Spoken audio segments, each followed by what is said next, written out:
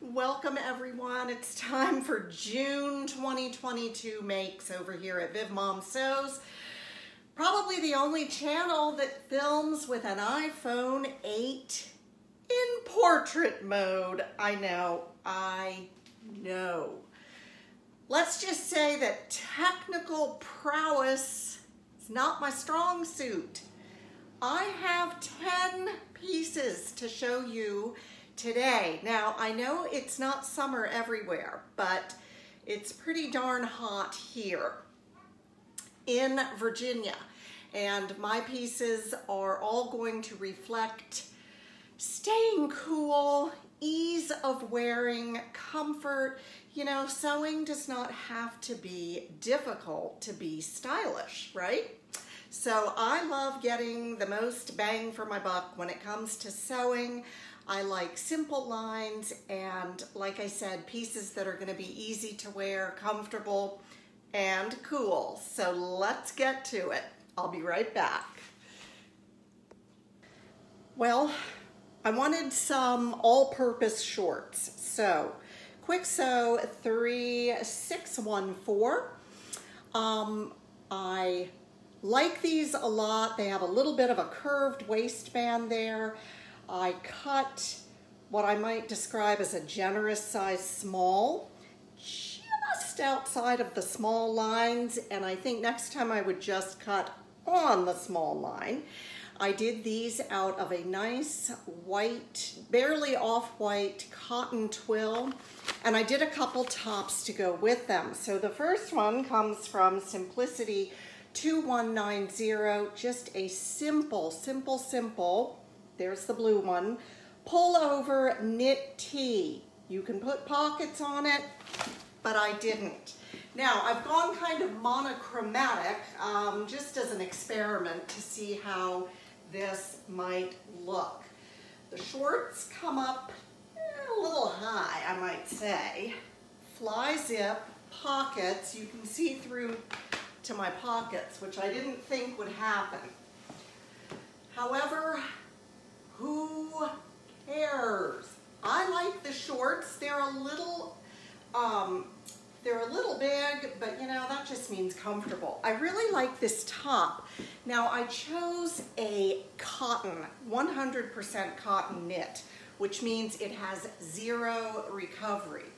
And getting that neckband on there wow, was I really pulling that? And I thought, is that gonna look okay? I think it works. I've left the sleeves raw and the hem raw just because I like how they hang. But I would like to do this little shirt again and put the pockets. They only show one pocket. I don't know if you can see that on that blue drawing, but they only show one little angled pocket on the shirt, and I think I would like two. So I'm gonna show you these shorts with another top. Hang on. New look 6948, a very cute little knit top. You get a skirt in there as well. So here we can go in a little bit of a different direction and look a bit dressier with the same white shorts. I changed to a little bit of a heel and this top, which is in a really pretty ITY knit that came from Fabric Mart. It is by designer Susana Monaco. And apparently Fabric Mart got a whole bunch of her knits in and they, this one went down to $3 a yard. And it makes kind of a cute outfit, maybe for going out to dinner in the summer. Or you could put flip-flops on with it and dress it back down again. So I like this little top. I've made it once before and it's super easy because the finishing here on the neckline and the armholes is just to turn in 3 eighths of an inch and stitch it down. As I won't be wearing this top a ton, that is a perfectly acceptable finish to me, and it gets it out from under the sewing machine and on me, which is what I, what I like. Okay, there's another top that goes with the shorts. Hold on. Simplicity 5204. What a cute pattern. You get lots of stuff in here. You even get a tote bag. Look at that. So I did the sleeveless shirt. And I made my shirt out of a cotton voile from Fabric Mart. I probably got this fabric two years ago. It's so pretty. It's very light being voile. There's no stretch. So we have a very simple little collar here. No collar stand. We just attach the collar to the uh, neckline and you do need to do the stay stitching. I do recommend that. Now this pattern comes with facings for the armholes and I, you know me, I just do my bias binding finish. So here's another outfit that I can wear with these shorts. I will make the shorts again. Like I said, I'll take them down just a tiny bit in size. Some people ask me, well, why don't you just cut the regular size and use a different seam allowance? But you know what? I would never remember to use a different seam allowance. So I make any changes that I'm going to make when I'm cutting and I will often cut between sizes or like these, I didn't really cut between sizes. I just gave it a generous cutting line on the small. So um, that's just a tip. It's up to you. I have four buttons on the front of this top in a very, very light lilac.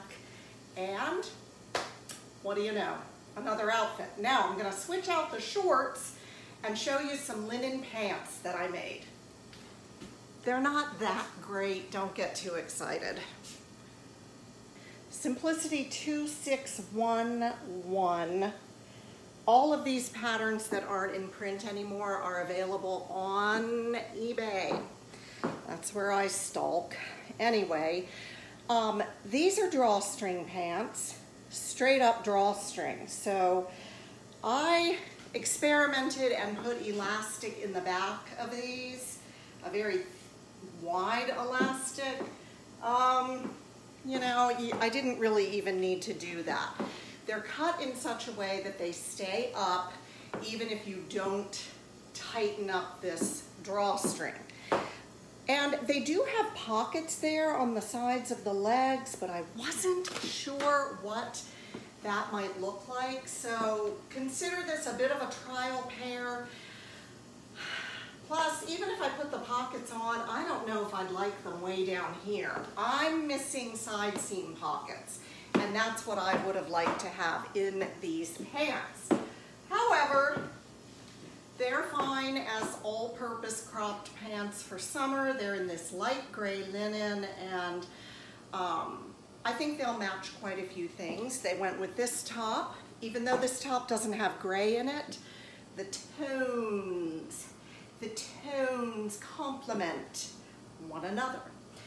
Now I have another top that goes with the pants. I kind of kept, you know, crossing over and crossing over, but that's good because then I will have more options. And yes, I actually need these pieces in my wardrobe.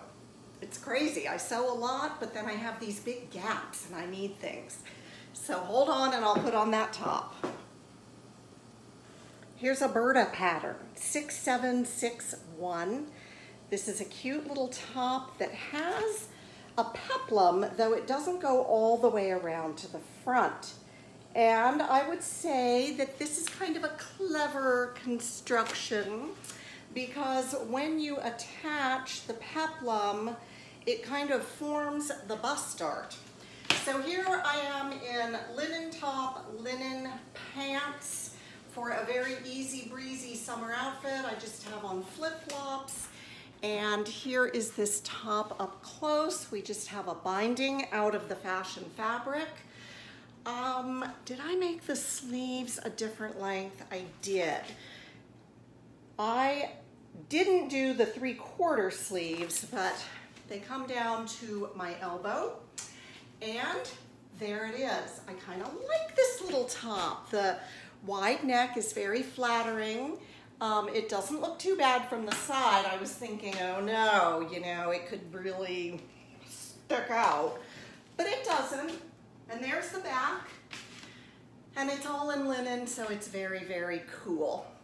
I have another outfit for you coming right up. Simplicity 8907. This looks really cute on Instagram on the people who have made it. I went for the romper, the shorts, left off the chest pockets. I did not have my pockets incorporate into belt loops because I knew I would not wear a belt with this, so I did something a little bit different. And we have cut on sleeves and a button front and an elastic waist. Now, everything was okay. Everything was going fine. You can see here at the waist, I have just put a bow to sort of mimic a drawstring and my pockets end right here. On the pattern, the pockets go way up and form belt loops, which is very cute, but I just, I don't wear belts. So I had this border fabric from Fabric Mart. I bought it for Candace, thinking that she would fall in love with it. No, she did not. So I said, well, by golly, I'll use it. And I have the border here at the bottom of the shorts, running down the front, and running down the back. My buttons are red because this print has some red in with the pink. So I thought that was cute. But when I put this on, these sleeves stuck out like wings. And you know, I'm an inverted triangle. I'm not supposed to be attention up top. I need more filling out at the bottom. So what I did, I just plain cut deeper, a deeper curve here and sheared off that much. And I think it fixed it.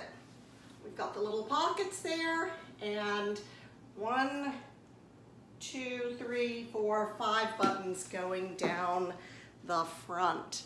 I've got my beautiful Joy earrings on today. She has made me so many pretty earrings. So there's my romper. This is not something I usually wear, but I'm gonna go ahead and say, I think I like it. All right, let's look at a skirt and top next. Yeah, I hate McCall's patterns, but this one worked out, probably because it's new look. New Look 6219 is a very basic and wonderful skirt. It is not a true drawstring because you have an elasticated waist. Um, I went ahead and put the little ties on to look like a drawstring. I kind of like to do that. And New Look 6948 is a great peasant top. I made the sleeves a little bit longer this time. So we do have pockets, which I love. I made the skirt out of a cotton and it's got blue in there, if you can see that. So it's just got a nice comfortable elastic waist. Um, pockets that are, I was gonna call them patch pockets, but they're actually not. They're sort of, you know, part of the pocket facing forms part of the waistband. The top I made out of this Whisper Light Crepe de Chine. Now the color's beautiful. It's a saturated royal blue and I love it, but I did not like working with it at all. The rest of it went for donation. I thought, should I even donate it? maybe someone would like to work with it. I don't, and I'm glad that I didn't have to do much with the pattern. Um, this pattern, where'd it go? Have I lost it? oh, this pattern just has a casing at the neckline and the sleeve hems. So that was okay with this fabric, but whew, not fun to work with. However, I will make the skirt again. It's got a little split there on the side. And even though my cotton is kind of light, Um, I think it'd be better with something a little heavier just so it would hang and have a little more body, but oh yes, I will wear this and, um, and I do recommend that pattern. So I'll put both pattern numbers in the description box. There's one finale coming up, hang on. Burda 6628. I'm so grateful for this simple, beautiful pattern because it is exactly what I envisioned for this fabric that I picked up at fabric.com. This is just a quilting cotton. It's made by Stoff and it's heavy, heavier than a quilting cotton. I put it more in the broadcloth camp. But it's got this cool uh, colorway. I guess that's like teal and maybe, is that chartreuse? I'm not sure. Very simple A-line dress. I love the length. And I will say this, I tried to do their neck binding and it just was not happening. It just, it just wasn't. It didn't fit. And I thought, I'm just gonna go back to what I know and love, which is my own bias binding. I did that at the armholes as well. And then we have a little button loop closure there at the top. So you don't have to put a zipper in it. You don't have to, you really don't have to do much of anything. It does have darts. It's got some nice shaping and you can see that A-line. And if you have a bold fabric, this is brilliant. I love it. You can also do an overlay. See that? A lace overlay in a shorter length. So there is my Burda dress. I've worn it with flip-flops. You can do anything with it. I'd like to have about 10 of these. And that's gonna wrap up my summertime sportswear for this month. Tell me what you're working on. I hope you're sewing and I hope that everything is going well in your life. If not, just keep going and things will change. I'm thinking of you and I'm saying goodbye for now. See you next time. Bye. Hey, all the patterns listed in the description box. Bye.